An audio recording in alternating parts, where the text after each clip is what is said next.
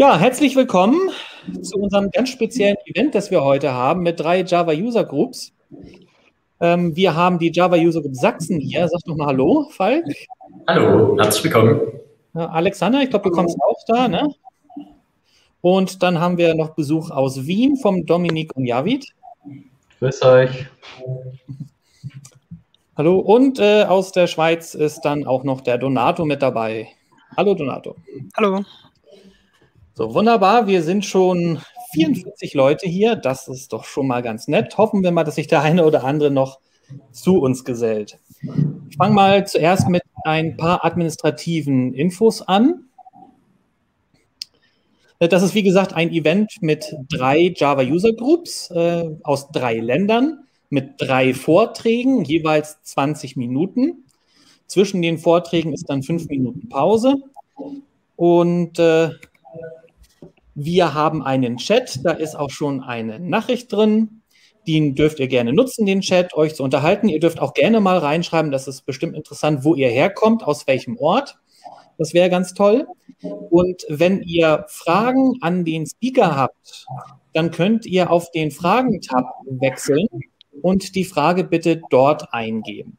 Wir werden die Fragen dann entsprechend stellen, sofern genügend Zeit ist. In dem Stream haben wir eine kleine Verzögerung von 10 bis 15 Sekunden. Das heißt, äh, wenn ihr etwas schreibt zum Beispiel und äh, wir gehen darauf ein, das kann ein paar Sekunden dauern. Der Grund dafür ist, dass wir den Stream auf Serverseite für eure Bandbreite und Bildschirmauflösung noch optimieren, äh, so dass ihr keine Stotterer habt, sondern schön einen äh, zuverlässigen Stream bekommt. Wir haben natürlich äh, Feedback-Formulare wieder vorbereitet. Das kennt ihr sicherlich nicht nur von uns, das kennt ihr auch von den anderen Java User Groups. Äh, ist heute aber ein bisschen speziell, weil wir ja drei Vorträge haben und äh, drei Newcomer. Es gibt nach jedem Talk zwei Fragen, die gestellt werden über die Umfragefunktion. Zuerst möchten wir wissen, ob dir der Talk gefallen hat. Und dann kannst du eher Ja und eher Nein auswählen. Und äh, dann kommt noch eine zweite Frage, wo du Feedback eintippen kannst als Text. Das ist optional, aber ich denke, jeder der Newcomer hier wird sich freuen, entsprechend Feedback zu bekommen. Wir haben hinterher im Anschluss auch ein WonderMe. Das heißt, wenn wir fertig sind mit unserem Event, dann werden alle weitergeleitet, vollautomatisch in eine WonderMe-Session, wo auch die drei Speaker sind. Und da wäre das auch ganz toll, wenn möglichst viele dabei bleiben, um dann hinterher äh, den drei noch zu erzählen, wie das so war, was sie vielleicht besser machen können äh, und ein bisschen Feedback zu geben. Unter allen, die äh, Feedback geben, insgesamt jetzt im äh, Monat Mai verlosen wir von der Java User Group Schweiz eine Lizenz für die JetBrains Toolbox. Das heißt, ihr könnt äh, alle IDEs dort entsprechend ein Jahr lang kostenfrei nutzen. Von der Java User Group Wien wird auch noch was zur Verfügung gestellt, ne, Dominik? Ja, genau. Und zwar, ähm, wir verlosen unter allen, die heute Feedback geben, also nur für dieses Event, ähm, unabhängig, ob ihr jetzt aus Deutschland, Österreich oder der Schweiz kommt, äh, zwei JetBrains-Lizenzen. Und ja, wir fordern euch auf, da fleißig Feedback zu geben, damit die Speaker auch ähm, dazulernen und besser werden. Super, danke schön. Also gibt es insgesamt sogar drei JetBrains-Lizenzen. Also es lohnt sich, Feedback zu geben. Dann seid ihr automatisch in der Verlosung mit dabei. Gut, das war schon mit dem technischen Vorgeplänkel. Ich übergebe dann mal an Falk. Ja, herzlich willkommen auch von mir. Vielen Dank, dass wir heute hier sein dürfen. Äh, danke an Markus für die großartige Organisation. Äh, ich möchte jetzt kurz die Gelegenheit ergreifen und unsere äh, Usergruppe etwas vorstellen. Wir wurden 2008 gegründet, damals noch nicht als Verein. Das hat ein bisschen länger gedauert, ehe wir uns einen richtigen administrativen Rahmen gegeben haben. Das ist dann 2015 erfolgt. Und seitdem haben wir etwas über 800.000 Besucherinnen gehabt. Äh, wir machen regelmäßige kostenfreie Veranstaltungen, Abendveranstaltungen, im Moment natürlich nur online, ungefähr ein bis zwei im Monat, je nach Jahr, je nach Vortragslage. Und wir veranstalten zwei große Konferenzen im Jahr. Normalerweise, das ist das Juxexemi Camp, eine Veranstaltung speziell für Studierende, die wir normalerweise in Leipzig durchführen. Und äh, den sogenannten Juxexemi-Day, eine Eintages-IT-Konferenz, für die gesamte Community. Da trifft sich also wirklich alles vom Entwickler bis zum Manager äh, und der Managerin. Ähm, das findet dann normalerweise in einem Hotel statt, im letzten Jahr online, dieses Jahr auch wieder online. Genau, hier sind unsere sozialen Kontakte, also wenn ihr euch, äh, äh, wenn ihr euch äh, up to date halten wollt, was unsere Veranstaltung angeht, dann nutzt einen dieser drei Kanäle hier oder einfach unsere Webseite www.juxexindy.org.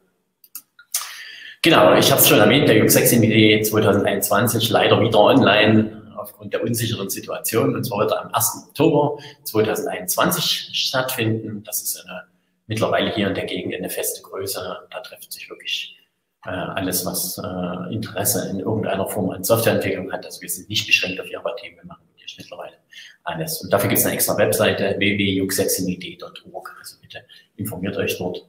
Äh, der Call for Paper ist leider schon vor, vorbei, also einreichen kann man nicht mehr. Jetzt findet gerade die Programmzusammenstellung statt. Äh, es wird dann demnächst das Programm veröffentlicht.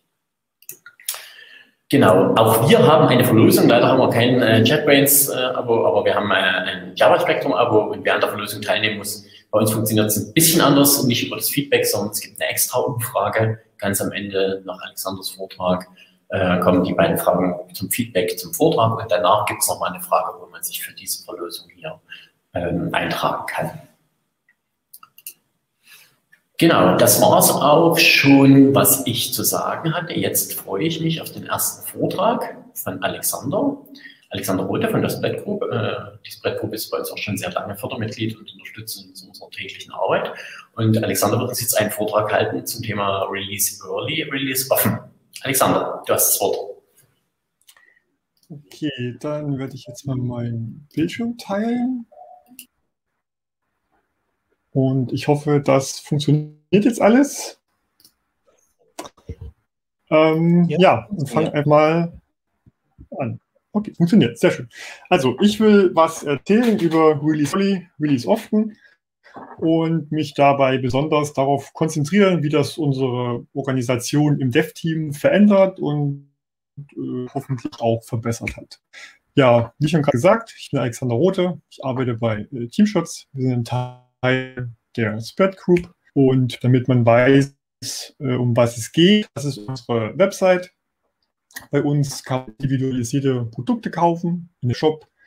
Ähm, wir sind der einzigste bei unserer Software. Das heißt, wir müssen uns nicht darum kümmern, irgendwie noch zu anderen Kunden zu gehen, die sich auch äh, irgendwie ausrollen müssen. Das heißt, wir sind da auch nur uns gegenüber verantwortlich, wie oft wir releasen und was wir da machen. Das macht vielleicht ein bisschen einfacher an der Stelle.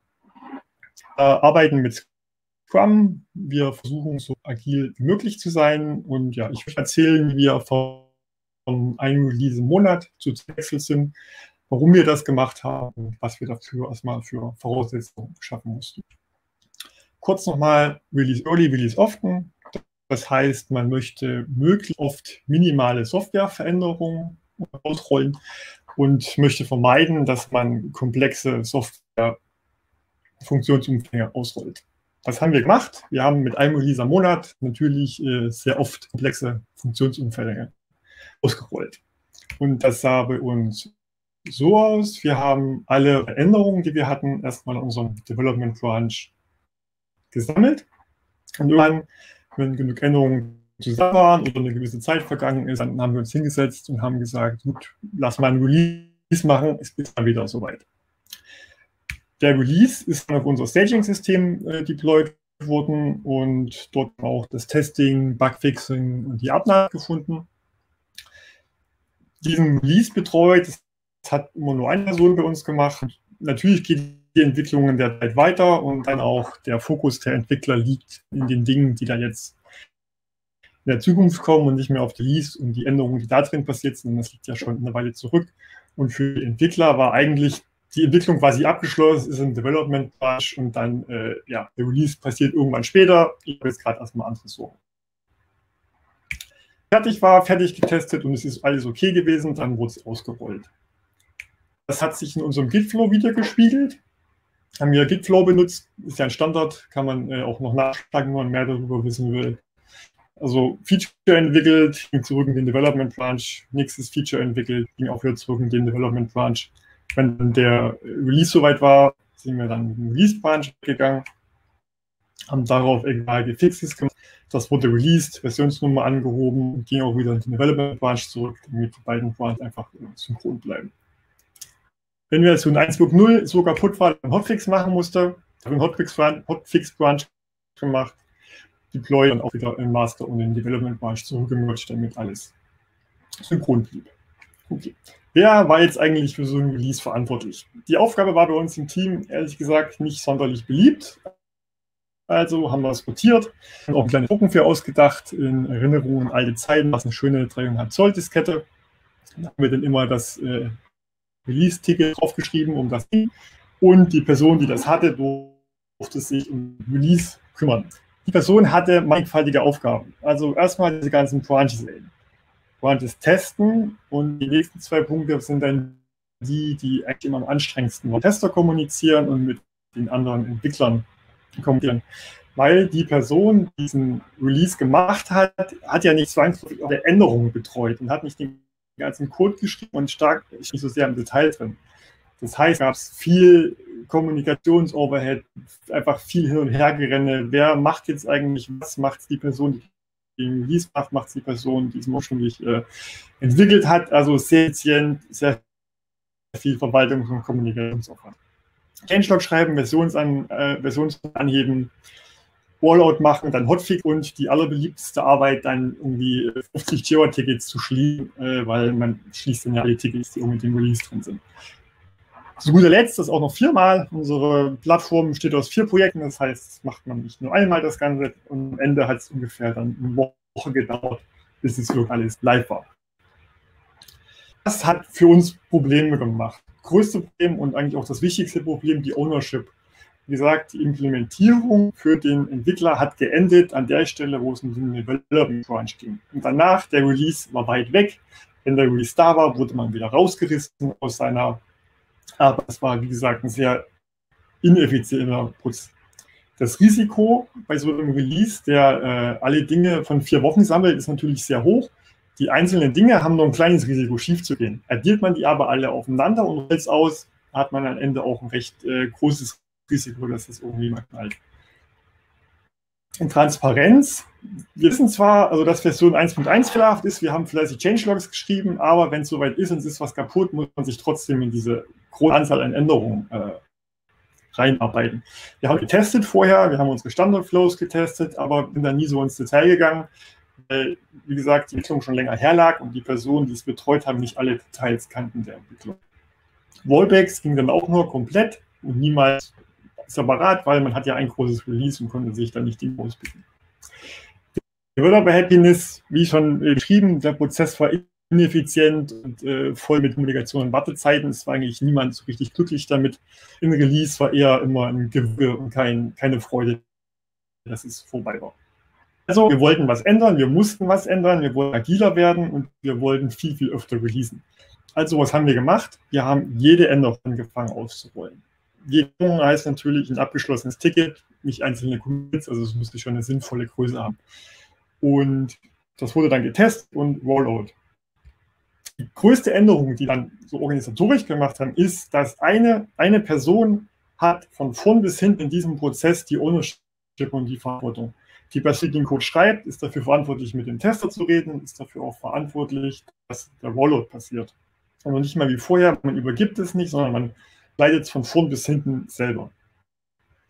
Und dabei ist relativ schnell klar geworden, wir können diesen Testing-Step mit QA und Abnahme eigentlich optional machen.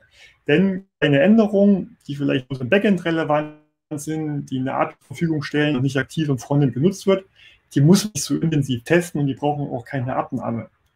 Dadurch konnten wir unsere Prozesse auch ein bisschen parallelisieren und auch flanken. Also bloß dann testen, wenn es auch wirklich nötig Hier nochmal unser Git-Ablauf. Das hat dann damit nicht funktioniert. Wir sind dann also auf GitHub Flow gewechselt. Der hat immer noch einen Master Branch, wie man schon sieht, keine Versionsnummern mehr. Die haben wir relativ schnell aus dem Fenster geworfen, weil die Versionsnummer war dann einfach der Timestamp der Veröffentlichung. Feature entwickeln, soll sofort live gehen, geht zurück in Master Branch, das Feature ganz genauso. Wenn ein Hotfix passieren muss, unterscheidet sich das eigentlich nicht von, von Feature-Entwicklung. Ist ein sehr großer Vorteil meiner Meinung nach, weil dann, wenn es wirklich mal was schief geht, die geübten Prozesse benutzen kann und nicht plötzlich auf einen anderen umschränken muss, der nicht sehr häufig vorkommt. Wer ist jetzt für so ein Release verantwortlich? Die Person, die den Code geschrieben hat, auch das Rollout. Aber die Aufgabenliste ist viel, viel kleiner. Man muss nicht mehr das erstellen. Man muss noch mit dem Tester reden, ist aber einfacher, weil ich weiß, um was es geht. Ich brauche keine Hilfe, kein Proxy mehr, damit er dabei hilft. Dann hat es hier halt weg, das ist mein Code, das habe ich in dem Team geschrieben, aber dann wissen die auch alle im Team, um was geht. Bugs fixen ist auch viel einfacher. Changelog schreiben fällt weg, Wallet machen, Hotfix und äh, ja, das ganze Branches updaten braucht man nicht mehr. Jira updaten ist viel einfacher. Man updatet sein eigenes Ticket und man macht das auch nicht mehr vier, macht das bloß für das Projekt, in dem man gerade war. Meistens arbeitet man ja ein Projekt und nicht an allen Vieren gleichzeitig. Das heißt, wir können durch so ein Release so schnell machen, dass er äh, es innerhalb einer Stunde machen muss. Ist meine Folie durcheinander. Das das heißt, wir haben es so geschafft, dann die Releases tatsächlich am Tag zu machen. Und äh, das hat uns viele Vorteile gebracht. Ein Vorteil ist die Ownership. Das ist auch für mich eigentlich die allerbeste und größte Änderung. Ein Entwickler braucht seinen Code von Anfang bis Ende und hat auch inhärentes Interesse daran und ähm, den Willen, dass das gut rausgeht, weil er muss ja den Wallet freuen. Das heißt, er testet das vorher nochmal ordentlicher und er hat generell äh, Interesse daran, dass das gut wird, weil sonst Hektik, Wallback möchte man vermeiden, wenn man es dann in der eigenen Hand hat. Es gibt keine Wartezeiten mehr und die Zuständigkeiten sind immer, weil die Person, die den Code geschrieben hat, kümmert sich auch um das Fixen. Risiko, Risiko ist geringer geworden, weil wir jetzt die Releases einzeln machen und tatsächlich dann jedes kleine Release auch bloß das kleine Risiko schief zu gehen, das addiert sich nicht mehr auf. Transparenz ist jetzt viel mehr gegeben, wenn wir um 12 ein Release gemacht haben. Und 12.05 Uhr sind unsere Metriken umgekippt, irgendwas komisch, Error Rate geht hoch. Dann ganz genau, es war das Release um 12 und haben auch nur eine sehr kleine Menge an Code, die wir durchsuchen müssen, um äh, den Bugfix zu machen oder um den Rollback zu machen. Wir haben nicht mehr so einen großen Heuhaufen, der durchsucht werden muss, wenn es schief geht. Developer Happiness, es hat geholfen, das Team glücklicher zu machen. Das liegt zum einen daran, dass die Prozesse jetzt gestrafter und effizienter sind. Zum anderen liegt es aber auch daran, dass Menschen To-Do-Listen abhaken und man jetzt quasi sein Ding komplett von Anfang bis zum Ende durchziehen kann. Fertig, man weiß, dass es funktioniert, man kann sich der nächsten Aufgabe widmen. Und man muss nicht immer im Hinterkopf haben, oh, in drei Wochen muss ich mich darum vielleicht nochmal kümmern, wenn wir feststellen, dass es im Zusammenspiel mit den anderen Dingen, die wir zwischenzeitlich gemacht haben, doch irgendwie zu Problemen kommt. Um so arbeiten zu können, braucht man Voraussetzungen. Und die wichtigste Voraussetzung ist das Empowerment des Teams, des Entwicklerteams. Team muss man eine gewisse Eigenverantwortung und eine gewisse Freiheit geben, damit sie in der Lage sind, die Entscheidungen, wann muss getestet werden, was können wir ausrollen, selber treffen können. Wenn man zehn Releases am Tag macht und die müssen alle irgendwie abgenommen werden, stellt man sich auch wieder selber im Weg und verlangsamt die Prozesse. Selbstorganisation ist wichtig. Die Absprachen müssen funktionieren zwischen den Entwicklern und den Testern. Man muss sich doch mal abrechnen, wo kann ich das zuerst releasen. Hier könnte es Probleme geben, das sollten wir trennen von den anderen. Das muss das Team selbst organisieren und selbst absprechen können. Ja, Vertrauen dem Team gegenüber, sonst ist man nicht mehr ruhig, wenn das so funktioniert. Und man muss natürlich auch die Kompetenz im Team haben, dass das so auch funktioniert, dass äh, alle Entwickler die, äh, die Kompetenz haben, von vorn bis hinten äh, den, die, äh, den Release zu machen. Ähm, Zero Downtime Deploys sind ein wichtiger Faktor. Unterschätzt man manchmal vielleicht ein bisschen oder achtet man nicht so drauf, wenn man selten Releases macht. So sah es bei uns zuerst aus. Server ist, also die grüne Linie ist die Zeitleiste. Der Deploy hat gestartet, Server startet durch, die, die, die Dienste schon durch und in der Zeit können natürlich keine Requests entgegengenommen werden. Das ist kein Problem, wenn man das nur einmal im Monat macht, dann kann man sich ein paar Sekunden Downtime erlauben. Wenn man äh, zehnmal am Tag macht, ist das schon ärgerlicher. Wie machen wir es jetzt? Wir sind auf Kubernetes gewechselt, auf eine Virtualisierungslösung. Das heißt, ein Load Balancer auch noch davor, der zeigt auf die Instanzen, die laufen. Links davon, die grauen Server sind quasi die, die neu hochgefahren werden, neuen Softwareversionen. Und wenn die laufen, schwenken wir um auf die. Und die Verhältnisserver ohne Probleme wegräumen. Das funktioniert nicht, wenn man äh, viel und häufig komplexe Datenbankänderungen macht, wie die Schemas zu ändern. Beziehungsweise muss man sich da noch mehr Gedanken machen, wie man es auch mit der Datenbank auf die Reihe bekommt. Ähm, weil sonst die, äh, der Code hier immer auf dieselbe Datenbank zugreift und dann äh, der neue Code nicht mehr zur alten Datenbank passt, bevor die äh, Migration so durchgelaufen sind. Also da muss man ein bisschen aufpassen. Kommt bei uns viel seltener vor, als wir anfangs befürchtet hatten. Wenn es soweit ist, machen wir es früh morgens und nehmen dann eine kurze Downtime in Kauf. Continuous Deployment. Damit das funktioniert, braucht man Bild- und Testpipelines, die automatisiert durchlaufen ähm, damit da keine manuellen Prozesse mehr nötig sind. Und Master muss natürlich jedem, zu jedem Zeitpunkt deploybar sein. Es muss auch schnell genug laufen. Wo wir auf Release Early und Release Often umgeschwenkt sind, haben wir ungefähr eine halbe Stunde für ein Deploy gebraucht. Dann wären Releases am Tage schon ein bisschen äh, eng, wenn man eine acht Stunden äh, halten würde. Jetzt haben wir es durch Optimierung geschafft, auf unter zehn Minuten zu kommen. Ähm, könnte noch ein bisschen schneller gehen, weil je länger man, also je länger diese Pipelines laufen und je mehr Releases passieren, desto länger wird dann auch immer die Warteschlange. Da müssen wir noch zehn Minuten warten, bis ich dann wieder äh, deployen kann. Ähm, ich habe zwar gesagt, dass das Risiko sinkt, aber auf der anderen Seite kürzen wir natürlich auch ab und ähm, lassen manchmal das Testen weg und uns nicht ganz so intensiv, wie wir es da vorgehabt haben. Das heißt, man muss eine Fehler im Blick haben. Das ist ein Screenshot von unserem Dashboard, das hängt auf einem großen Display in unserem Büro. Wir halten uns an die vorgegebenen Signals. Hier einmal äh, links oben die Latenz, rechts oben die Requests, die reinkommen, und die Error Rate. Was hier fehlt, ist die Saturation. Die ist für uns nicht so wichtig, weil wir im Rechenzentrum laufen und dann extra Team dafür haben, die das im Auge haben. Also wir betrachten das unsere Applikation. Dann haben wir noch äh, diese Striche drin. Ein blauer ist immer ein Deploy und ein roter ist, wenn ein End-to-End-Test fehlt, die wir per in Production laufen haben. Ähm, und auf die Art können wir relativ äh, schnell sehen, was schief geht, wenn irgendwelche Graphen nach oben gehen. Idealerweise natürlich die Errors auf Null, sodass jeder kleine Pi Peak äh, einen Fehler anzeigt, aber naja, weiß nicht, wie es ist, so äh, ganz fehlerfrei ist immer nicht. Ähm, genau. Und äh, last but not least ist äh, ein Vorteil, den wir jetzt haben, sehr, sehr schnell zeigen. Immer diese kleinen ändern. Das fängt für uns das letzte Risiko noch ab, was wir haben, wenn was schief geht. Okay, wir wissen, wir sind in aller spätestens zwei Minuten wieder live. Das heißt, hier wird nichts Schlimmes passieren. Es gibt auch den, das gute Gefühl, hier äh, auch mal was auszuprobieren, ohne dass äh, wir gleich äh, offline sind. Ja. Äh, das war eine kurze Geschichte von bis äh, Monat zu 10 am Tag. Das war interessant und deshalb.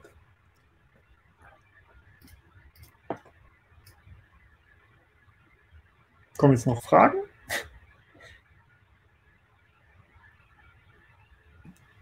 Ja. Du, du, warst, du warst am Ende etwas schlecht zu verstehen, Alexander, deswegen habe ich den letzten Satz nicht bekommen. Aber wir haben Fragen für dich. Hörst du mich? Nicke mal bitte kurz. Ja, ich höre dich. Gut, wunderbar. Gut. Die Fragen sind, äh, ich würde sagen, wir haben zwei Fragen, die können wir eigentlich schon fast äh, beide beantworten, denke ich. Ja, macht ihr vor jedem Release noch Datenbank-Backups oder wie geht ihr mit Datenbankänderungen vor, die potenziell zu Datenverlusten führen können? Ähm, wir machen prinzipiell vor jedem Release einen kompletten Datenbank-Backup. Okay, ja, und, und wenn es potenziell zu Datenverlust führen kann, äh, ja, dann machen wir es ein bisschen äh, gesondert. Also das, das, machen wir dann schon mit spezieller Aufmerksamkeit zu einem Zeitraum, wo wir uns auch eine Downtime einplanen können, falls es überhaupt dazu kommt. Okay. Und die zweite Frage wäre, wie macht ihr Rollbacks, wenn beim Release die Datenbank mit Flyway zum Beispiel migriert wurde? Ähm, Migration, das ist äh, ein bisschen die dieses äh, Konzepts. Wir versuchen, also wir versuchen quasi immer unsere, unseren Code kompatibel zu halten zur Datenbankversion. Das heißt, wenn wir eine Migration machen, erst die Migration ausrollen, dass die Datenbank anpasst, an den Code anpassen und notfalls die Datenbank wegräumen, sodass wir den Code immer wieder zurückrollen können und trotzdem eine kompatible äh, Datenbank. Okay. Ich, hätte noch eine dritte Frage, die ich gern stellen würde. Ist denn das so, dass das wirklich immer funktioniert mit den täglich zehn Releases? Oder kommt es dann im Zusammenhang mit Infrastruktur oder größeren Framework-Änderungen doch auch wieder zu den Momenten, wo äh, es für mehrere Tage nicht möglich ist, ein Release äh, durchzuführen? Oder kennt ihr diesen Effekt gar nicht? Also ich kenne das aus vielen Firmen, die relativ kleine Release-Zyklen umgestellt sind, dass sie doch äh, in gewissen Abständen dann in das alte Muster zurückfallen oder zurückfallen müssen. Kennt ihr das auch, diesen Effekt? Ähm, wir haben es, also wir machen es jetzt seit eineinhalb Jahren und wir haben es tatsächlich geschafft, dann nicht zurückfallen zu müssen. Ich weiß nicht, ob es Glück war oder gute Planung, aber bis jetzt haben wir es immer geschafft, äh, einen Weg herum zu finden. Aber wir versuchen das auch sehr zu forcieren. Also es ist uns wichtig, dass das so klappt. Gratulation, das finde ich sehr gut. Es wäre schön, wenn das überall immer so klappt. Fingers crossed, das ist die Ja. Gut, damit sind wir durch alle Fragen durch. Danke, Alexander, für deinen interessanten Vortrag. Äh, wie ihr ja gehört habt, wenn ihr dann nochmal direkt Feedback geben wollt, äh, jetzt gibt es die Umfrage, die der Markus sicherlich gleich aktiviert. Genau, da kommt die erste Frage. Hat dir der Vortrag von Alexander gefallen?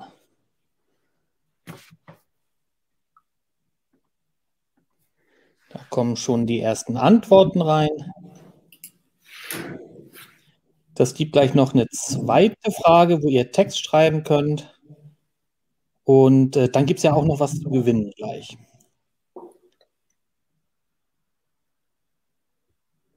Und wenn ich das nochmal sagen darf, es gibt ja auch nachher die Möglichkeit noch im WonderMe, Alexander, ich du bleibst so lange, dass wir dann nachher noch mit Alexander.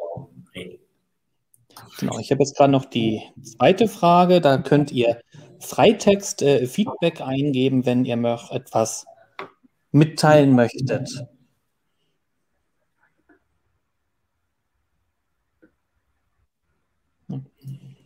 Wir haben jetzt noch ein paar Minuten bis zum nächsten Talk gleich. Noch drei Minuten. Das heißt, ich lasse das noch einen Augenblick stehen, dass ihr hier in Ruhe schreiben könnt.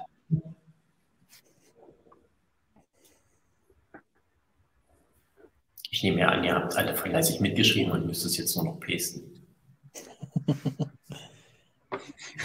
Das wäre natürlich super vorbereitet. Dass die Frage auch selbst gestellt wird. Aber wir haben schon einige Antworten reinbekommen. Also das ist sehr, sehr toll.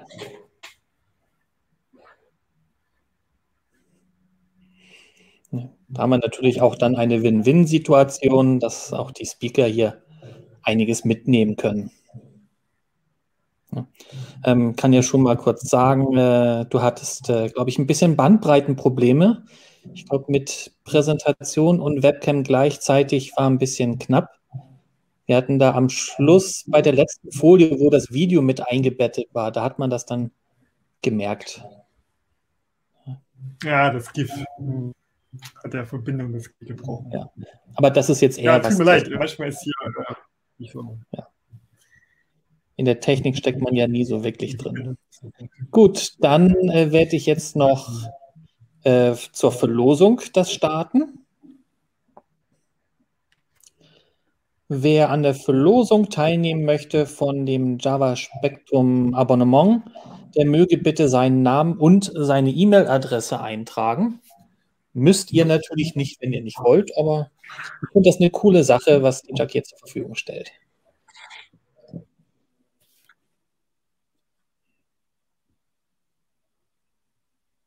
Genau, ich habe uns vielleicht nicht darauf hingewiesen, die E-Mail-Adressen werden natürlich nachher auch wieder mhm. gelöscht. Und die Zeit können jetzt schon die beiden aus Österreich nutzen. Schon mal Bildschirm teilen, Webcam einschalten schon mal parat machen. Hallo Dominik, hallo Javid. Hallo. Hallo.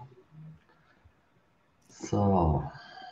So, ich übergebe dann schon mal an euch die Slides. Mhm. Äh, da sind sie auch schon. Da kannst du dann weiterblättern, Dominik. Ja, perfekt. Ja, ähm, herzlich willkommen auch aus, aus Österreich. Ähm, wir sind aus Wien. Ähm, wir sind das Java Vienna Meetup. Ähm, wie man vielleicht beim Logo schon sieht, geht es bei uns um Java, natürlich in Wien. Ähm, bei den physischen äh, Meetups haben wir immer sehr viel Bier da, also das habt ihr vielleicht im Chat schon mitbekommen. Sprich, mit, zunehmender, mit zunehmendem Fortschritt vom Abend wird der, der Abend auch immer lustiger, deshalb steht auch das Fun hier am Schluss. Ähm, ja, ursprünglich sind wir gegründet worden 2008 als äh, Java User Group von Studenten. Ähm, seit 2015 sind wir jetzt ähm, als Java Vienna Meetup ähm, auf der Plattform Meetup äh, präsent. Ähm, ohne Corona haben wir einmal pro Monat ein physisches Meeting und dieser Vortrag hier ist jetzt quasi der erste richtige Online-Vortrag, den wir haben, seitdem ähm, dieses ganze Schlamassel äh, angefangen hat. Ähm, aktuell haben wir circa 2400 äh, User auf Meetup und normalerweise zwischen 40 und 100 Teilnehmer pro Meeting. Ähm, falls ihr in Wien seid, äh, ich hoffe, ab Oktober können wir wieder ganz normal äh, Meetings machen. Ähm, ja, der schnellste Weg zu unserer User Group ist über ähm, java.wien, also einfach im Browser eingeben. Es ist nur HTTP, weil es einfach nur eine Weiterleitung ist, also keine Sorge, keine Daten werden irgendwo gelockt.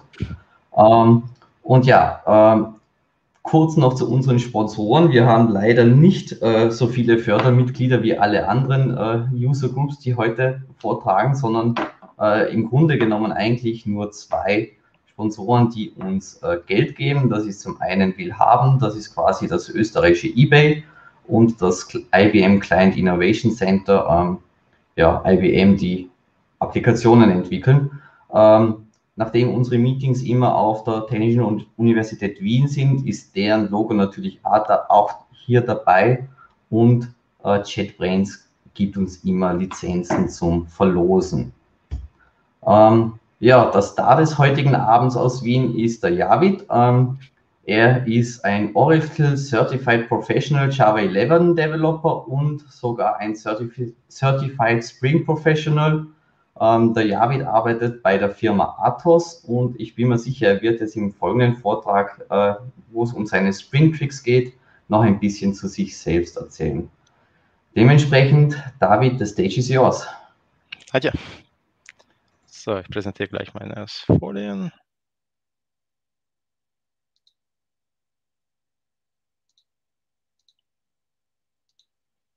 So, ich glaube, ihr könnt das wahrscheinlich schon sehen. Und ja, also hallo allerseits. Äh, ich darf euch ein bisschen über Spring erzählen. Äh, ich wurde ja schon vorgestellt, also das überspringe ich gleich. Und worüber wir äh, heute, also was wir heute alles besprechen werden. Als erstes erzähle ich euch ein bisschen über EOP und äh, dann wird ein kleines Beispiel sein, wo, wo ich mit Hilfe von Annotations Login aus dem Code rausnehme. Dann äh, erzähle ich euch ein bisschen über Spring Events und wie einfach die eigentlich in Spring sind und wie als Folge dessen unser Leben so viel einfacher werden kann. Und äh, äh, schließlich, da wir Entwickler sind und wir geben ja nie zufrieden mit fertigen Lösungen, schreiben wir mit Hilfe von Bean Post Processors unsere eigene Custom API-Lösung. Also los geht's. Uh, taking the cross-cutting concerns out with Spring API. Was bedeutet das? Also Cross-Cutting Concerns sind Sachen, die in unserem Code quer verstreut sind, äh, wie zum Beispiel Logging, Caching, Transactions. Also man findet diese in jeder zweiten Methode, hat aber mit dem Sinn der Methode nichts zu tun. Sprich, Uncle Bob unhappy. Und AOP, das heißt Aspect-Oriented Programming, ist eine Paradigma, die erlaubt, äh, die bieten uns die Möglichkeit, äh, oder zumindest die Motivation, äh, dass wir dieses, diesen zusätzlichen Code, also quer verstreuten Code, aus, dem, äh, aus unseren Methoden rausnehmen in irgendwelche separate Konfigurationsfile und dann es wird in Runtime zugefügt. Und das machen wir eben gleich. Ein schneller Überblick, was wir alles tun müssen, bzw. werden.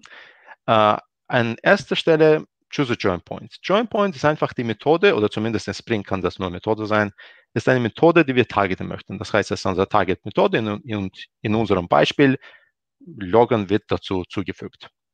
Dann define point guard. Point guard ist ein Prädikat, sprich ein Boolean Expression, der einfach sagt true oder false, also ja, true, bitte zu, der, hm, zu dieser Methode unser, unser Code zufügen.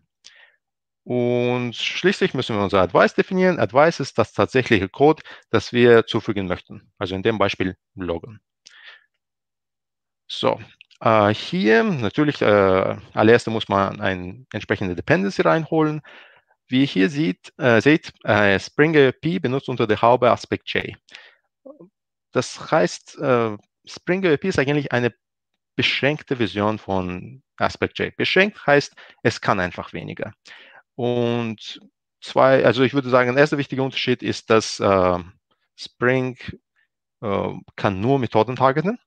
In Aspect-J könnt ihr alles targeten. Also Fields, Constructors, Static Initializers, you name it. Und äh, zweiter wichtiger Unterschied wäre das, das Weaving Time. Weaving äh, ist das, äh, das Prozess von Zufügens von dem zusätzlichen Code zu dem Target Code. Also das macht Aspect-J in, in Compile-Time. Dafür braucht er aber einen äh, zusätzlichen Step, einen zusätzlichen Build-Step. Das heißt, wir müssen unser Bildverfahren ein bisschen anpassen. Spring äh, macht das alles in Runtime. Das heißt, das ist für uns äh, leichter zu implementieren. Wir müssen unser Bild überhaupt nicht ändern. Dazu ist aber weniger performant. Da kriegt man gleich auch die Frage, oh, was sollte man dann nehmen? Ich würde sagen, äh, nehmt Spring, benutzt es. Äh, in absolut Mehrheit der Fällen wird es völlig äh, reichen und in seltenen Fällen, wo es eure Requirements aus irgendwelchen Gründen nicht abdecken kann, solltet ihr euch an Aspect.j wenden. So, also wir beginnen gleich mit einer Marker Annotation. Marker, weil sie eben nichts anderes tut, aus, außer die Methoden zu markieren, die wir eben targeten werden. Und für diejenigen, die mit Annotations ein bisschen weniger Erfahrung haben, die definiert man genauso wie ein normales Interface, nur man bekommt ein kleiner, also man schreibt eine kleine Ad davon, davor und es gibt noch ein paar Regeln, die wir aber, die aber zu unserem Beispiel nicht relevant sind. Und hier, ich beschränke die Target auf die Methode, weil wir in Spring AOP nur die Methoden targeten können. Und äh, bei Default sind Annotations in Runtime nicht verfügbar, außer man diese mit einer entsprechenden Retention Policy eben definiert. Und als nächstes müssen wir nur unsere Aspektklasse definieren. Aspektklasse ist einfach die Klasse, wo unsere ganze ERP-Konfiguration sich befindet. Also Spring weiß, dass er in diese Klasse die ganze ERP-Konfiguration suchen muss. Und als erstes definiere ich mein Point Guard. Wie gesagt, Point Guard ist ein Prädikat. In dem Fall sage ich bitte, man gibt True bei jedem, äh, bei jeder Methode, die mit diesem Annotation annotiert ist. Und, diese, und einfach fully qualified passt zu meiner Annotation. Und dann habe ich zwei Advices, uh, at before und at after returning. Und die tun genau das, was eben die Namen sagen. Und zwar gleich vor der Methode und gleich nach der Methode. Die loggen entsprechende Log-Messages. Diese GetLogger-Methode ist einfach eine kleine private Methode, um die Target-Klassennamen in das Logger reinzubringen und nicht logging-affiliation.class. So, jetzt zum Beispiel. Ich definiere irgendwelches Beispiel-Service. Die hat irgendwelche Beispielmethode und diese macht einfach ein System zur Konsole mit einem Being executed. Die wird jetzt mit atlogger, atlogable annotiert und das reicht eigentlich äh, da, dafür, dass äh, das alles läuft. Und in dem Fall, also ihr könnt das gleich sehen, es wird gleich before und gleich after, also Spring übernimmt das, Spring API übernimmt das Login für uns. Also ganz praktisch, würde ich sagen. Wichtig zu wissen, Spring API funktioniert durch Proxys. Das heißt, der Caller, äh, der ruft nicht mehr die Target-Klasse, sondern die Proxy-Klasse. Proxys können, also es, es, ist aber wichtig, dass der Caller überhaupt nicht mit, also so ist das programmiert, gell? dass Call überhaupt nicht mitbekommt, dass äh, es nicht mehr mit Target-Klasse arbeitet. Und da Java eine typisierte Sprache ist, äh, kann das nur durch Interfaces oder Subclassing erreicht werden. Entweder muss Proxy eine alternative, alternative Implementierung eines Interfaces sein, die Target-Klasse auch implementiert, oder Target muss eine Superklasse von dem Proxy sein. Das hat aber zwei Folgen. AFP wird nicht mit Final Classes oder Methoden äh, arbeiten können. Und In-Class Invocations, In-Class Invocation heißt eine Methode in dem Target, ruft direkt eine andere Methode in dem Target. Die werden vom Proxy nicht gesehen, deshalb können die auch vom Proxy ganz natürlich nicht intercepted werden und kein, demnach keine Callbacks. Die zwei Sachen sind, ja, wie gesagt, wichtig zu wissen, weil wenn ihr diese Regeln bricht, werdet ihr keinen Error bekommen. Einfach, absolut, äh, also lautlos werden eure wird AOP nicht funktionieren an der Stelle. Und das in Spring nicht nur hier wichtig, sondern zum Beispiel auch in Transactions. Äh, Transaction Annotations funktionieren in Spring auch durch AOP, folgen die gleichen Regeln. Und wenn man auf Stack Overflow schaut und schaut äh, irgendwelche Fragen, wieso funktioniert meine Transaction nicht, oft ist der Fall, dass eine von diesen zwei Regeln eben gebrochen wird. So, Spring Events. Ähm, was man alles machen muss, um ein Spring Event Klasse zu kriegen. Äh, oder zuerst sogar, wofür brauchen wir das überhaupt?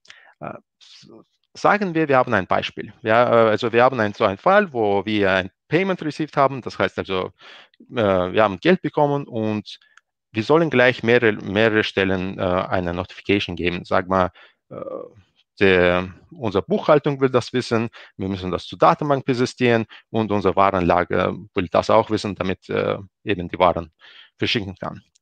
Also wir haben gleich mehrere Stellen, die alle von dem erfahren müssen und wir könnten natürlich das alles in eine Methode äh, verpacken, aber dann kriegen also wir increase coupling und es ist wahrscheinlich nicht die flexibelste Lösung. Äh, eine Alternative ist natürlich Events, weil wir müssen, wir können ein Event erzeugen und alle Listeners von diesem Event werden gleich eine, diesen Event bekommen und bearbeiten können. Also ein Standard Observer Pattern. Und das ist natürlich super einfach. Man muss nur eine Event-Klasse definieren, einen Event-Publisher auch schreiben und dann äh, zumindest eine oder mehrere Event-Listeners eben äh, definieren. Und als erstes upgrade ich meine Annotation, damit die jetzt auch eine äh, Log-Value bekommt. Und jetzt wird, äh, damit ich das ausloggen kann. Einfach weil ich äh, auf der Annotation bauen wollte. Und jetzt äh, habe ich eine andere Aspektklasse. Diese Aspektklasse, äh, der Unterschied ist nur das, dass hier habe ich nur ein Before und das tatsächliche Value, heißt sprich Log Message, wird ausgeloggt. Und äh, hier ja, definiere ich einen, also einen entsprechenden Event, der extended von Application Event von Spring. Und hier kann man irgendwelche Attributen setzen, man könnte ein DTO setzen, alles Mögliches. Für mich, für meine Zwecke reicht ein irgendwelche String Message. Und hier definiere ich meinen Publisher. Also Publisher ist einfach ein Komponent, der bekommt Application Event Publisher von Spring Autowired. Äh, wobei, man muss sagen, äh, hinter den Kulissen ist es immer noch Spring, das alles äh, published. Äh, Application Event Publisher ist nur so ein Interface, das erlaubt uns mit Spring für diese Zwecke zu kommunizieren. Und in dem Fall, wir kreieren eben das vorher definierte Klasse und publishen diese. Und ich logge es einfach bevor, damit wir das auch das Prozess ein bisschen verfolgen können. Das Payment, an der Stelle haben wir Payment received und entsprechendes Event erzeugt. Und hier ist einfach äh, ja, unser Event Listener. Und diese implementiert Application Listeners. So, somit weiß Spring, dass äh, dies, der ist ein Listener von dem Typ. Und jedes Mal, wenn dieses Event erzeugt wird, kreiert man, also wird on Application Events äh, fired und äh, der, der, das Event wird bearbeitet. Und auch wieder, ich log das einfach. Und wie ihr hier seht, äh, alles funktioniert wunderbar. Wir kriegen zuerst eine Payment, dann wird, äh, äh also äh, wir publishen das zuerst, äh, das wird gelockt, dann der Listener bekommt das und dann schließlich wird das hier bearbeitet ähm, und eigentlich an vorherige Stelle bearbeitet mit einem, mit einem S-Out. Also, Event Publishing ist bei Default in Spring synchron gehandelt. Das heißt, ihr müsst euch keine Sorgen über Inconsistent States oder irgendwas ähnliches machen. Das macht natürlich das sehr bequem. Advantage ist, wie gesagt, Loose Coupling. Äh, wir können wirklich davon profitieren. Uh, Disadvantages, das habe ich aus einem Buch, das ich für meinen Magister mal lesen müsste, dass man eventuell mehr Code schreiben muss. Uh, ganz ehrlich, wenn man davon Angst hat, in Java viel Code zu schreiben, hat man womöglich eine falsche Sprache erwischt. Aber ja, äh, und jetzt meine eventuell Lieblingsthema, Postprocessors. Um euch Postprozess zu erklären, muss ich euch schnell einen Überblick über Spring Bean Lifecycle geben. Also wie funktioniert überhaupt? Wie werden Beans in Spring überhaupt erzeugt? Als erstes startet der Container, unser Lieblings-Spring. Danach werden alle Definitions geladen. Definitions können natürlich in XML, in Java Configuration oder wie in meinen Beispielen mit Annotations definiert werden. Egal, alles wird geladen. Danach werden die mit Bean Factory Postprocessor äh, bearbeitet. Ähm, ein Beispiel dazu ist natürlich Property Sources Placeholder Configuration. Äh, Property Sources Placeholder Configuration ist äh, ein Bean Post Factory Postprocessor, der äh, an der Stelle kommt, wo, sag mal, ihr habt irgendwelche Properties aus dem Properties-File äh, rein injected mit Add Value. Also der bearbeitet diese und stellt die richtige Properties da rein. Äh, dazu sage ich gleich, wie kann man, wie kann man gleich sagen, ob eine Klasse aus dem Spring kommt? Na, ganz einfach, sie muss, diese muss zumindest 20 Buchstaben haben. Äh, prinzipiell ist das so, wann auch immer ihr ein langes Wort seht, seht, es ist entweder ein deutsches Wort oder Name des Spring-Class. Naja, gut, ja, das musste, das musste sein. Äh, nächster Punkt, äh, Instantiation, also werden unsere Beans an der Stelle tatsächlich instanziert. Dann äh, bringen wir alle Properties, alle, setzen wir alle Felder rein. Äh, Punkte 6 bis 8 sind eigentlich nicht sehr wichtig. Es ist nur, man könnte diese Interfaces implementieren und dann würde man, also würden diese entsprechenden Methoden gerufen. Und das, was uns tatsächlich interessiert, sind Punkte 9 bis 11. Also äh, Nummer 10 kennt ihr alle sicherlich. Das äh, 9 bis 11 sind alles Postprocesses. Nummer 10 ist natürlich als Post-Construct, das verwenden wir alle, aber wir können auch ein Bean-Postprozessor äh, implementieren und diese wird bei der Instantierung bei dem Lifecycle von jedem Bin gleich davon und gleich danach gerufen.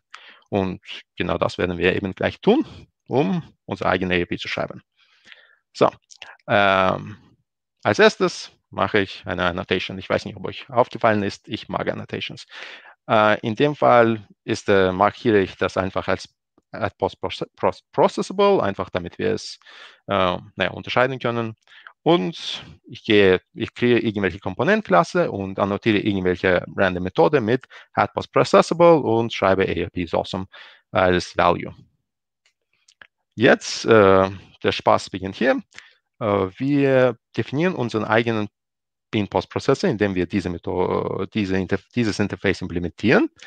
Dann können wir diese Methode überschreiben bei der Methode schaue ich einfach, weil, wie gesagt, die wird ja bei jedem Bin-Instantierung äh, gerufen. Und ich schaue, ob diese spezifische Bin irgendwelche Methoden mit Postprocessable äh, annotiert hat. Falls ja, äh, mache ich eine New Enhancer. Enhancer ist eine Klasse aus dem Spring, das uns Easy Subclassing erlaubt. Ich setze äh, die Target-Klasse, also Target Bin als Superklasse, weil, wie gesagt, ich muss ja ich muss ja, ich werde hier ein ganz anderes Objekt returnieren, also ein Proxy. Aber der Caller sollte das nicht mitbekommen, deshalb Superclass setzen. Und dann setze ich meine Custom Callbacks und äh, Create Custom Callback ist eigentlich mal, ja, ist eine Methode, die ich definiert habe. In dem Fall, ich muss Method Interceptor Interface returnieren. Das mache ich mit einem Lambda. Ich schaue wieder, ob diese spezifische Methode äh, post-processable annotiert ist, weil meine Klasse hat ja viele Methoden, equal string to string, aber die interessieren uns nicht. Und falls diese Methode eben diese Annotation hat, dann bitte davor loggen und danach die tatsächliche Implementierung von der Superklasse aufrufen. Und das kreieren wir und gleich returnieren. Und das war's eben. Äh, wie ihr sie seht, es funktioniert hier also ganz genau nach dem Plan. Und äh, ich würde sogar argumentieren, dass diese Lösung sogar besser ist als Spring AOP, weil wir müssen nicht mal ein Dependency reinholen. Also, falls euch bei der Arbeit jemand Spring AOP nicht erlaubt, naja, erstens Job wechseln, zweitens, ihr könnt das hier benutzen. Und da sage ich Danke. Äh, Slides und Code sind dann hier unter den Links verfügbar.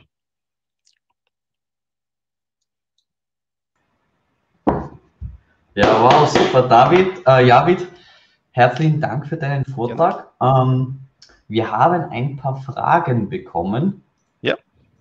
Und zwar, ähm, ja, die ist jetzt gerade weggesprungen, wo ich sie vorlesen wollte. Ah, na, jetzt ist sie wieder da. Oh nein. Okay, also die erste ist, ähm, das kommt jetzt ganz darauf an, ob du CDI kennst. Ähm, Eigentlich nicht. nicht, okay. Also, ähm, Vielleicht kannst du an der Stelle einspringen. Würde mich auch interessieren. Ja, ich habe sie im Chat eigentlich eh schon beantwortet. Äh, ähm, die Frage war, was ist denn der große Unterschied zu CDI Interceptors? Und ähm, effektiv gibt es keinen, es ist einfach nur äh, das gleiche Konzept mit anderen Annotations.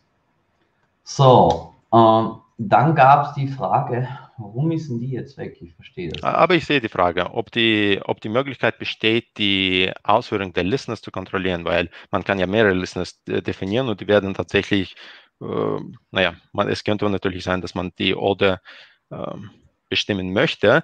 Ich habe mich eigentlich mit dem Thema nicht befasst, also ob das, ich bin mir sicher, dass das geht. Äh, ich weiß aber, ich weiß aber ehrlich gesagt nicht, also ja, jetzt kann ich diese Frage nicht beantworten, leider. Uh, weil von meiner Sicht, äh, es ist eigentlich mir ganz egal, wenn ich einen Observer-Pattern mache, mir ist eigentlich wurscht, welche Event-Listener das als erstes bekommt das ist für mich irgendwie nicht der Sinn. Aber natürlich, falls das eure Requirements sind, ganz ehrlich, ich würde sogar falls in irgendwie in Messaging-Richtung denken, wobei, ja, das, das musste man nachschauen. Gut, ja, ähm, wir sind jetzt leider ähm, fertig mit der Zeit. Falls noch wer Fragen hat, der Javid und ich sind nachher noch im Wonderme, bitte schreibt euch die Fragen auf. Wir werden versuchen, die dann später zu beantworten. Ähm, ja, dann. Danke. Äh, Markus, machst du das mit, den, mit der Umfrage, bitte? Ja, ich glaube, die eine Frage, die du gesucht hast, da hattest du textmäßig beantwortet. Die findet man jetzt unter, die war unter die den Antworten. Ja, also die Frage war quasi, ähm, wie man denn äh, herausfinden kann, welches Event wo geworfen wird und wo subscribed. Und ähm, die Antwort darauf ist, äh, dass man nachdem das ja einfache Java-Klassen sind, einfach in der IDE Find Usages drücken kann und dann findet man das ganz schnell. Also sofern man ein, eine einzelne Codebase hat und nicht irgendwie hunderte Libs oder so. Gut, ähm, ja, Markus bitte. Ja, super, Dankeschön. Ich werde jetzt zuerst mal die Feedback-Fragen wieder starten. Und zwar zuerst wieder, hat dir der Vortrag von Javid gefallen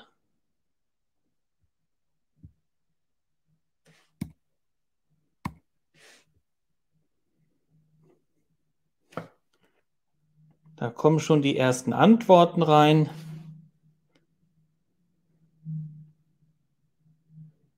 Wunderbar.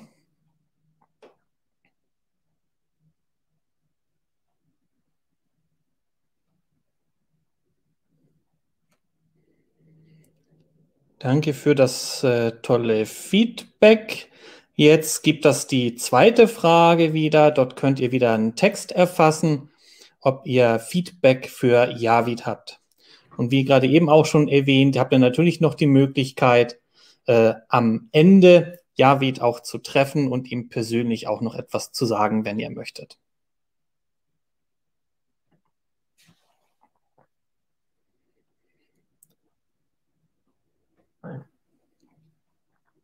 Und während ihr dort das Ganze schon eingebt, da kann ja Donato schon mal Webcam und Screensharing probieren.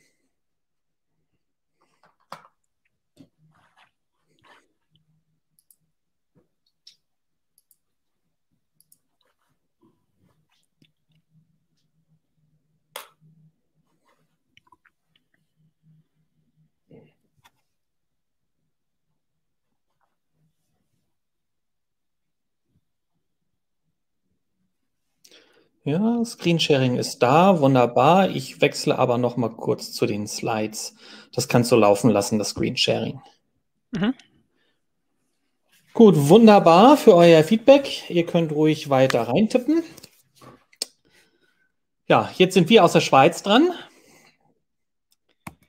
Äh, unsere Java User Group ist in der glücklichen Lage, dass wir recht viele Sponsoren haben, weshalb wir recht viele Veranstaltungen machen können und auch solche Dinge wie Big Marker hier mit den Lizenzen äh, zahlen können. Also deswegen auch nochmal einen vielen herzlichen Dank an unsere Sponsoren, die jetzt auch gerade in der für viele, viele Firmen nicht leichten Zeit uns weiterhin unterstützen. Äh, wir haben, wie gesagt, viele Events, die wir machen, teilweise bis zu 70 Events pro Jahr. Äh, zwei weitere Events sind jetzt schon geplant. Äh, der eine, den seht ihr hier, Connaissance Beyond Coupling und Cohesion, findet statt am 25. Äh, und äh, dann der nächste ist The Future of Programming von Uncle Bob. Der findet dann Ende, äh, Ende Juni statt. Und The Future of Programming ist neuer Talk vom Uncle Bob und wir hatten ihn gerade eben auch schon, glaube ich, im Talk vom, vom Javi, dass er dort erwähnt wurde. Also wenn ihr Lust habt und Bock habt, nimmt gerne auch daran teil. Auch von den anderen User Groups seid ihr gerne eingeladen. Ich poste mal die beiden Links hier in den Chat. Kostet nichts, außer ein bisschen Zeit und lohnt sich sicherlich. Ja, das war es aber auch schon genug mit der Werbung. Und äh, jetzt freue ich mich auf den Talk von Donato. Ich glaube, du hast einen Slide, wo du dich selber vorstellst, ne? Ja. Dann sage ich nicht mehr viel dazu und wünsche dir viel Spaß. Dein Screen ist aufgeschaltet. Bis gleich. Perfekt. Äh, ich bin Donato Wolfisberg aus der Schweiz. Ich arbeite bei der CSS-Versicherung. Ähm, mein Vortrag geht über Kubernetes Operators in Java und wie ich sie eingesetzt habe. Als Einstieg werde ich noch etwas über Kubernetes sagen. Was sind Ressourcen? Dann über meinen Use Case. Anschließend Custom Resources, Custom Controllers. Was ist es? Wie wird es gemacht? Dann noch kurz einige Implementationsdetails und anschließend mit einer Demo abschließen. Jetzt was ist Kubernetes? So in einem Satz, System für deklaratives Verwalten von Containern und Ressourcen. Das jetzt viel aussagekräftiger ist. Ähm, hier sieht man es auf einem Diagramm. Auf der linken Seite ist die Control Plane. Die ist eigentlich für die ganze Verwaltung zuständig. Und auf der rechten Seite die Worker Nodes. Das sind die Server, auf denen die Container Runtime ist und eigentlich die ganze Arbeit dann auch letztendlich gemacht wird. Ähm, auf der linken Seite sieht man hier den API-Server. Dieser ist das Herzstück von der Control Plane. Alle Schreib- und Leseaktionen gehen immer über den Cube API Server. Dieser ist auch der einzige, der auf die Datenbank zugreift und dort liest und schreibt. Dann gibt es ähm, die Cube Controller Manager. Diese sind die Controller für die Standard Kubernetes Ressourcen. Was jetzt Ressourcen sind, werde ich in einem späteren Slide noch sagen. Ähm, die letzte große Komponente ist der Cube Scheduler. Dieser ist dafür verantwortlich, auf welchem Worker Node welche Container gestartet werden sollen. Also für das, für das Load Balancing der Container. Ähm, jetzt, was ist eine Ressource? Hier im Beispiel sieht man eine Pod-Ressource. Diese ist eine deklarative ähm, Soll-Zustand-Beschreibung. Äh, meine Ressource besteht immer aus drei Teilen. Der erste Teil wäre jetzt hier den Kind und der API. Hier sagen wir eine Ressource Pod. Diese ist relativ simpel. Mit diesen kann man Container starten. Dann haben wir Metadaten, mit denen gibt man den Namen und den Kontext an und letztendlich noch die Spec. Und hier beschreibt man wirklich, was die Ressource dann machen soll. Da sieht man jetzt auch, okay, wir wollen einen Container machen mit dem Namen Nginx und dem Image Nginx. Aber wie bringe ich das jetzt in, in das Cluster was passiert da? Ähm, der einfachste Weg, es in das Cluster zu bringen, wäre mit dem CLI. Da kann man jetzt machen kubectl apply und dann den Filenamen angehen und dann wird es zum API-Server geschickt. Jetzt ist das beim API-Server. Das erste, das er machen wird, ist es in die Datenbank reinzuschreiben. Von dort wird es von dem Controller rausgelesen, der für die Pod-Ressourcen zuständig ist und dieser schaut, ob es valid ist und wird dann den Status auf Pending setzen. Sobald der Status auf Pending ist, wird der Cube Scheduler dies merken und sich überlegen, auf welchem Worker Node, also auf welchem Server die geringste Last ist und ihn dort zuordnen. Sobald diese Zuordnung stattgefunden hat, wird der Kubelet dieses Servers, auf dem es laufen soll, das notifiziert merken und das letztendlich auf der Container Runtime den Container starten. Was ist jetzt mein Use Case für noch mehr Ressourcen in Kubernetes einzufügen? Der wäre, ein Entwickler will eine Applikation deployen, die auf eine zentrale Datenbank, auf einen zentralen Datenbankserver zugreift. Heißt jetzt, typischerweise kommt der Entwickler, erstellt ein Ticket, das an die DB ausgeht, dies wird mehr oder weniger automatisiert abgearbeitet und er bekommt auf dem einen oder anderen Weg dann die Zugangsdaten. Ähm, diese kann er dann bei seinen Ressourcen einbauen und diese schlussendlich in das Kubernetes Cluster deployen. So würde das dann aussehen. Er hätte hier bei einem Worker Node im Container seine Applikation und die würde dann auf den Datenbankserver zugreifen, der extern gemanagt ist. Jetzt wäre es aber eigentlich viel einfacher, wenn er auch diese Datenbankkreierung direkt mit Kubernetes-Ressourcen beschreiben könnte. Dies hat den Vorteil, dass es nur einen Prozess gibt, dass der Entwickler es selber deklarativ beschreiben kann und für all seine Ressourcen, die er braucht, den gleichen Prozess verwenden kann, sei dies GitOps oder was auch verwendet wird mit Kubernetes. Wie habe ich das jetzt gemacht? Ich habe zwei neue Custom Resources erstellt. Die eine wäre den Datenbankserver. Diese wird einmalig clusterweit erstellt von Infrastruktur und DBAs mit den Zugangsdaten für den Controller und der URL. Dann gibt es noch eine zweite Ressource. Diese wäre dann die eigentliche Datenbank Custom Resource. Diese wird vom Entwickler erstellt, sobald er eine Datenbank will. Diese beinhaltet ähm, den Speicherort, wo er die Zugangsdaten dann haben will, die generiert werden, plus referenziert er auf einen Datenbankserver. Wie könnte das jetzt aussehen, was die Infrastruktur dann deployen muss? Wir sehen hier, es sieht wieder sehr ähnlich aus wie beim Pod. Es ist auch wieder einfach eine Ressource, die aus drei Teilen besteht. Der erste wie wieder Kind. Hier sieht man jetzt unser Custom Kind, ein Cluster Database Server, auch wieder mit einem Namen und wieder mit einem Spec. Und hier ist der Host und der Port der Datenbank sowie der Typ und wo man die Zugangsdaten findet.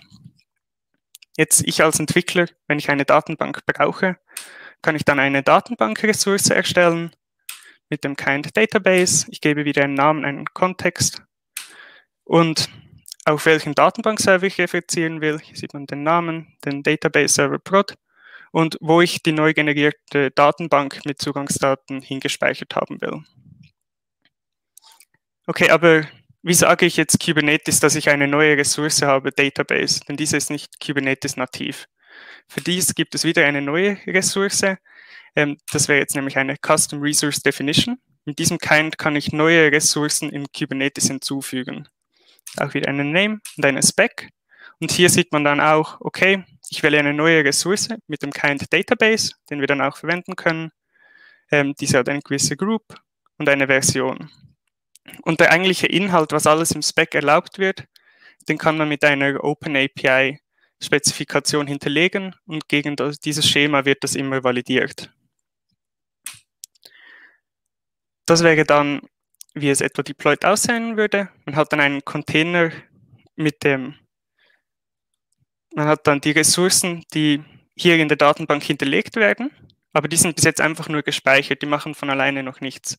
Und dass man jetzt hier auch noch das Behavior bekommen, brauchen wir noch einen Custom Controller. Dieser ist dann dafür zuständig, um zu hören, okay, beim Kubernetes API Server, es gibt neue Datenbankressourcen, dann agiert er und erstellt diese Datenbank, falls sie noch nicht vorhanden ist, und legt dann die Zugangsdaten wieder im, in der Datenbank über den Kubernetes API Server ab. Diese läuft auch in einem Container auf einem Worker Node typischerweise. Ähm, ein Controller befindet sich eigentlich immer in einem Control Loop. Das heißt, er geht immer zum API Server, wartet bis Änderungen kommen, geht mit diesen Änderungen und prüft den Sollstand gegen den Ist-Stand, hier noch mit der Datenbank, ob sie schon erstellt wurde, die Zugangsdaten schon im Cluster hinterlegt sind und versucht diesen Sollstand am Ist-Stand anzugleichen. Jetzt in Java ähm, gibt man kann einen solchen Controller natürlich in jeder Sprache implementieren, der REST aufrufen kann denn das eigentliche, was man macht, ist einfach mit dem Kubernetes API Server über REST zu kommunizieren. In Java gibt es die Fabric 8, eine Library, die einem viel Boilerplate abnimmt und das Schreiben eines Controllers sehr viel vereinfacht. Ähm, jetzt komme ich schon zur Implementation. Das heißt, hier gibt es drei Teile. Ähm, das erste wäre unsere DTOs erstellen. Das heißt, dass wir unsere Database-Ressource auch dann im Code ähm, als Standard, als normale Java-Klassen verwenden können. Hier sieht man eine Klasse Database. Diese wird mit Annotationen notiert. Da sieht man hier wieder Kind Database und eine Klasse Database Spec, wo gemappt wird, dass der Inhalt dieser Ressource dann auch in der Java-Klasse zu finden ist. Ähm, als nächstes müssen wir noch auf Changes subscriben. Für das gibt es auch wieder von Fabric 8 eine Methode, diese nennt sich jetzt Shared Index Informer. Da können wir angeben, für welche Ressourcen dass wir ähm, darauf hören wollen, wollen und unseren Listener mitgeben. Diese Methode wird dann immer aufgerufen, sobald es ein Update gibt und auch noch periodisch damit wir eigentlich immer in einem konstanten Prüfungsloop sind, falls sich irgendwo etwas verändert, dass wir das anschließend wieder korrigieren können. Jetzt haben wir mehrere Listeners, jetzt eine für die Database, dann gibt es noch eine für die Database-Server und vielleicht auch noch eine für Secrets, dass wir es immer angleichen können. Aber eigentlich das eigentliche Reconcilen wollen wir immer sequenziell machen, dass wir keine Race Conditions haben. Das heißt, die verschiedenen Listeners laufen in verschiedenen Threads und sammeln ähm, und sammeln die Änderungen, die abgearbeitet werden sollen und schmeißen die eine Work Queue. Diese wird dann vom Main Thread ähm, genommen und hier in die eigentliche Business-Logik reingeworfen. Das wäre dann dein Datenbank-Reconciler. Diesem wird gegeben die Datenbank, der Datenbank-Server und das Secret. Dieser schaut, soll und ist mit der Datenbank und versucht das abzugleichen Jetzt am Ende, sobald es abgeglichen ist und Änderungen gemacht habt, werden wir ähm, ein neues Secret erstellen, in dem dann die Zugangsdaten sind, die der Entwickler bei seiner Applikation dann auch anziehen kann. Hier unten sieht man wieder die Fabric 8 Klasse, mit der es aufgerufen wird und das Secret dann wirklich erstellt wird. Jetzt kommen wir zur Demo. Also ich bin jetzt als Entwickler unterwegs. Äh, ich bin jetzt als Entwickler unterwegs, habe hier meine Ressourcen geschrieben und will diese deployen. Äh, sorry, Donato, dein Schirm ist nicht mehr geteilt. Jetzt. Ah, jetzt kommt er. Super. Also, ähm, ich habe jetzt hier meine Ressourcen. Das hier wäre ein Deployment. Äh, das ist auch eine Standard Kubernetes-Ressource, wo man hier die Container drin angeben will. Es ist eine Abstimmungsanwendung, wo man hier wieder das Image sieht. Diese könnte man einfach auch so starten würde funktionieren. Jetzt will ich aber, dass noch eine Datenbank kreiert wird. Das heißt, ich habe jetzt hier ein YAML erstellt vom Kind Database und sage, okay, erstelle mir eine Datenbank auf dem Datenbankserver Database Server Prod. Diese wurde vorhin angelegt und sage, schmeiße mir die neuen Zugangsdaten in folgendes Secret. Und hier im Backend Deployment sage ich dann, okay, setze im Container eine Environment-Variable namens Database URL und nehme den Wert für diese Variable vom Secret. Das wäre wieder das gleiche was wir vorhin gesehen haben, und dort die URL. Jetzt kann ich die ganze Applikation mit einem Command deployen. Jetzt sieht man da auch schon die Container, die gestartet wurden. Auch noch zum Zeigen, dass es auch funktioniert.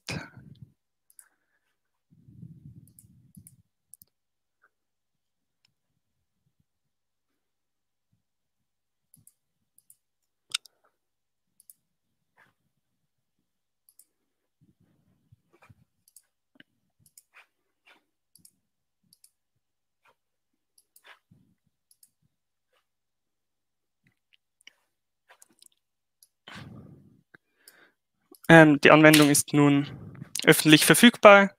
Ihr könnt jetzt hier auch hingehen und sie verwenden und für diese wurde jetzt eine eine neue Datenbank erstellt, die Zugangsdaten hinterlegt. Und sie ist schon brauchbar und dies in weniger als 10 Sekunden. Es dauert jetzt viel länger, das aufzurufen. Ähm, jetzt noch zum Abschluss. Ich finde, Custom Resources mit Custom Controllers ist ein sehr mächtiges Pattern, das man verwenden kann, um den Entwicklern ähm, die Möglichkeit zu bieten, selber über einen simplen Prozess Ressourcen anzulegen und zu verwenden. Jetzt würde ich wieder würde ich eine Custom Controller in Java oder in Golang umsetzen. Ähm, in Golang wurden die meisten Controller umgesetzt. Das heißt, dort ist das Umfeld mit den Ressourcen, die zur Verfügung sind, etwas größer. Ähm, aber die Fabric 8 Bibliothek ist eigentlich sehr gut.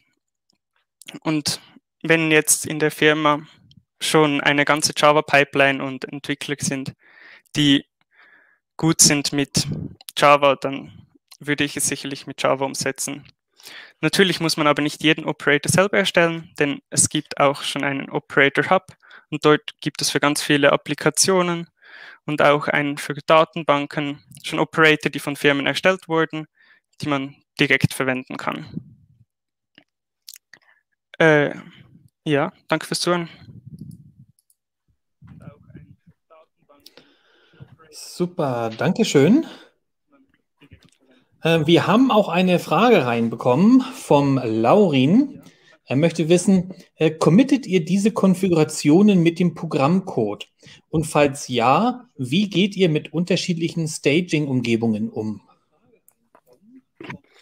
Ähm, also jetzt dieses, äh, diesen Operator habe ich in meinem privaten Cluster am Laufen. Und committet ihr die, diese Konfiguration mit dem Programmcode? Ich habe also die Definition für den Operator zu laufen zu lassen, die ist in einem Helm-File separat und dann im Cluster wird nur noch ähm, dieses Helm-Chart, das einmal generiert wird, parametrisiert aufgerufen. Ähm, aber eigentlich die Deployment-Charts sind separat vom Programmcode gehalten. Mhm. Super, danke schön.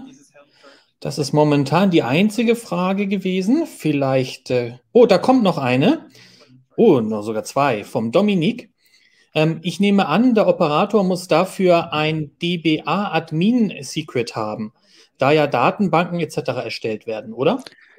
Ja, genau. Also der User, der braucht Berechtigungen für Datenbanken mit Datenbank-Usern zu erstellen. Mhm. Das ist dann aber nur der Operator, der also, diese hat und nicht die eigentliche Anwendung, die den Operator nutzt, richtig? Ne? Genau, diese die die Anwendung bekommt, hat dann nur noch gescoped auf mhm. die einzelnen Datenbankrechte. Äh, eine Frage vom äh, Justin. Wo startet ihr die Container eigentlich derzeit? In einem lokalen Kubernetes-Cluster oder in der Cloud? AWS, EKS und Co. Äh, und falls ersteres, wie lange habt ihr gebraucht, um das Kubernetes-Cluster aufzuziehen? Wobei also jetzt in, de, in der Firma wird es privat also auf unseren eigenen Servern gehostet. Und jetzt mein Cluster befindet sich halb bei mir zu Hause und halb auf Hetzner Server. Ähm, wie lange das die Initialkonfiguration gebraucht hat. Also heutzutage bringt man so ein Kubernetes-Cluster relativ schnell initial zum Laufen, bis dann die ganze CI-CD-Pipelines und Integration funktioniert da wird die schon, Arbeit drin. Ja, da steckt nachher die Arbeit drin. Mhm. Ich glaube, für lokal habe, ähm, habe ich auch Minikube schon ausprobiert, was da eigentlich auch eine, eine, ziemlich schöne Sache ist, wenn man lokal etwas schnell zum Laufen kriegen möchte. Ja. Gut, wunderbar. Vielen Dank. Das äh, war das bis jetzt Anfragen. Sonst könnt ihr gerne noch weitere stellen, beziehungsweise gleich im Anschluss im äh, WonderMe äh, mit dem Donato direkt sprechen. Wie bei den anderen Vorträgen werde ich jetzt wieder zwei Umfragen starten. Äh, zuerst einmal, hat dir der Vortrag von Donato gefallen? Dort kannst du wieder entsprechend abstimmen. Ich lasse das einen kleinen Augenblick laufen. Zuerst einmal, hat dir der Vortrag von Donato Da kommen schon viele Antworten rein. Das ist super. Und äh, dann die letzte Frage. Hast du Feedback für Donato? Da habt ihr jetzt kurz etwas Zeit, äh, dort auch gerne etwas reinzuschreiben und oder wie gesagt gleich im Anschluss mit Donato selbst zu sprechen. So, ich wechsle jetzt nochmal auf die Slides zurück. Ja, wir haben jetzt drei tolle Vorträge gesehen von drei User Groups und äh, wie üblich, äh, Speaker, die kommen nicht von ganz alleine oder meistens nicht von ganz alleine. Und äh, wir von allen drei User Groups sind immer auf der Suche nach äh, Speakern, auch neue Speaker, äh, die einen Vortrag halten möchten, entweder einen kurzen Vortrag oder auch einen langen Vortrag äh, zu allen möglichen Themen. Äh, von daher, wir wollen euch, ne? we want you, und ihr dürft euch gerne an uns wenden. Ne, unsere Webseiten, die sind ja hier auch in der Präsentation entsprechend genannt worden. Wir freuen uns, äh, wenn ihr uns entweder einen Vortrag halten möchtet oder wenn ihr uns jemanden empfehlen könnt, der einen Vortrag halten soll. Oder auch wenn ihr Ideen habt für Themen, die ihr gerne hören wollt, dass ihr euch natürlich auch an uns wenden könnt und sagen könnt, ey, zu dem Thema möchte ich jetzt gerne mal einen Vortrag haben, äh, organisiert doch mal was. Und äh, jetzt mache ich noch ein bisschen Werbung für unsere Java User Group hier in der Schweiz, wer nämlich bei uns einen Vortrag macht. Und dazu gehören auch heute alle drei Speaker. Die drei Speaker bekommen wie alle ein ganz tolles Schweizer Messer mit entsprechendem Branding und ganz viel 100.000 MacGyver-ähnlichen Features. Bekommt ihr natürlich nach Hause geschickt. Also überlegt euch mal ein Thema, wenn ihr auch so ein Messer haben wollt, äh, dass ihr bei uns einen Vortrag macht. Dann haben wir einen YouTube-Kanal, den findet ihr ganz einfach unter youtube.juk.ch. Äh, dort wird ein Video der heutigen Veranstaltung veröffentlicht. Äh, ich denke, die äh, ein oder andere Jack wird das ebenfalls veröffentlichen. Das wird ein paar Tage dauern, bis ihr das dort seht. Ihr könnt das entsprechend abonnieren und werdet dann benachrichtigt. Ja, das war es im Prinzip auch schon. Darf ich die anderen alle bitten, noch mal kurz ihre Kamera einzuschalten? So. Dass wir hier alle noch mal kurz zusammenkommen. Ah, schon sind wir hier alle sechs wieder online. Das ist doch herrlich. Ne? Wir hoffen natürlich und wir laden euch ein, jetzt im Anschluss bei WonderMe noch mit uns äh, zu quatschen. Bei WonderMe bildet man Kreise von bis zu 15 Leuten und äh, alle können dann sich gegenseitig sehen, gegenseitig hören und ihr findet dort auch die drei Speaker.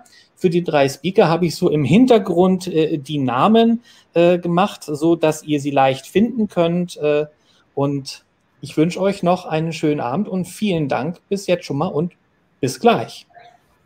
Bis gleich. Ciao. Dankeschön. Bis gleich.